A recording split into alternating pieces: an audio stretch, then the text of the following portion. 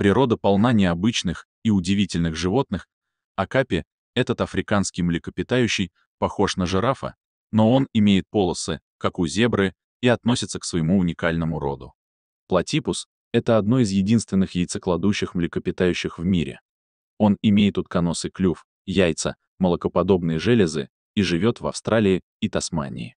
Тарсия — это один из самых маленьких приматов в мире, но он обладает огромными глазами по сравнению с размером тела. Эти ночные существа обитают на Филиппинах. Манул, также известный как мануль, это дикий кот, обитающий в Центральной и Средней Азии. Его невероятно пушистая шерсть и круглая мордочка делают его весьма необычным.